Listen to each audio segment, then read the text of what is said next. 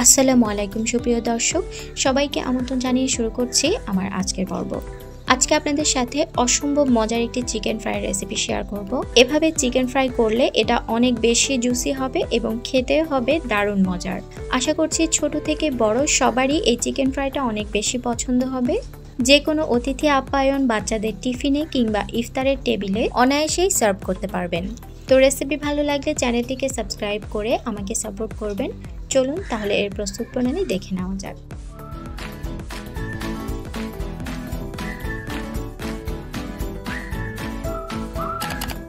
তো আজকের মজাদার চিকেন ফ্রাইটি তৈরি করার জন্য আমি এখানে দুটো হাড় ছাড়া মুরগির মাংস নিয়েছি।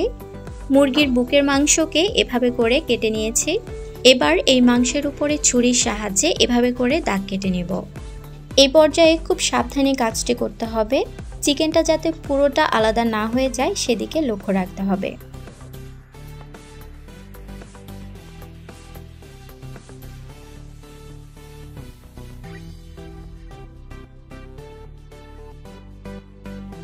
তো দেখুন, আমি একইভাবে দুটো চিকেনের টুকরোতেই দাগ কেটে নিয়েছি। এবার এগুলোর সাথে প্রয়োজনীয় মশলাগুলো অ্যাড করে নেব। তো প্রথমে দিয়ে দিচ্ছি হাফ চামচ করে আদা এবং রসুন বাটা। এবার দিচ্ছি এক চামচ লাল মরিচের গুঁড়ো, হাফ চামচ করে জিরা এবং ধনিয়া গুঁড়ো। দিয়ে দিচ্ছি স্বাদ মতো লবণ, হাফ চামচ পরিমাণ লেবুর রস, এক টেবিল চামচ পরিমাণ টমেটো সস এবং এক টেবিল চামচ পরিমাণ বাটার মিল্ক চাইলে এখানে টক দইও কিন্তু ব্যবহার করা যাবে। এবার মশলাগুলোকে ভালো মতো চিকেনের সাথে মিশিয়ে নিতে হবে।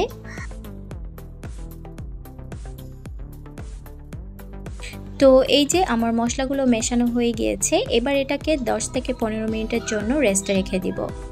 তো এবার চিকেনটাকে কোট করার জন্য আমি এখানে কিছু ব্রেড ক্রাম নিয়েছি।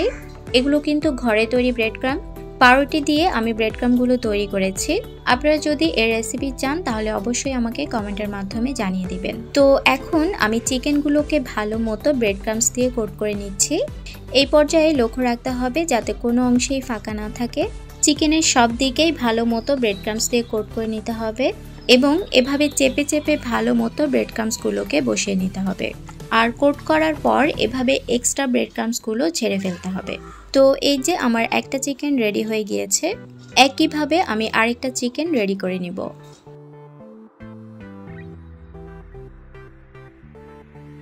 তো এই যে আমাদের চিকেনটা কিন্তু ফ্রাই করার জন্য একদম রেডি হয়ে গিয়েছে। এই পর্যায়ে চাইলে চিকেনটাকে ডিপ ফ্রিজে রেখে সংরক্ষণ করে রাখতে পারেন। তো এবার আপনাদের সাথে চিকেনটাকে ভেজে শেয়ার করছি। ভাজার জন্য চুলায় পর্যাপ্ত পরিমাণে তেল মিডিয়াম আঁচে গরম করে নিয়েছি। এবার চিকেনগুলো দিয়ে সুন্দর একটি কালার না আসা পর্যন্ত ভেজে নিতে হবে। এই পর্যায়ে কিন্তু চুলার আঁচকে কোনোভাবে বাড়িয়ে দেওয়া যাবে না। এতে করে চিকেনের ওপরের সাইডটা খুব তাড়াতাড়ি পুড়ে যাবে, কিন্তু ভেতরে কাঁচা থেকে যাবে। তো একটা পাশ যখন ভাজা হয়ে যাবে, তারপর এগুলোকে উল্টে দিতে হবে।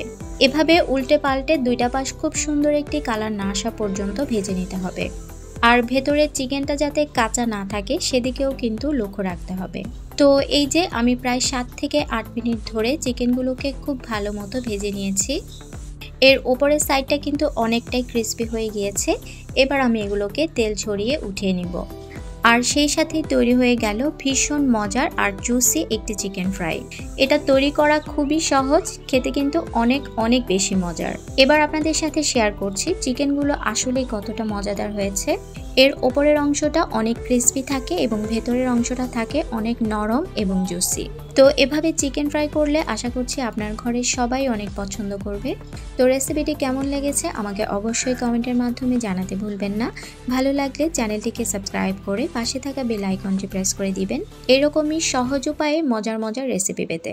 আজকে তাহলে এখানে বিদায় নিচ্ছি। ভালো থাকবেন সবাই। আল্লাহ হাফিজ।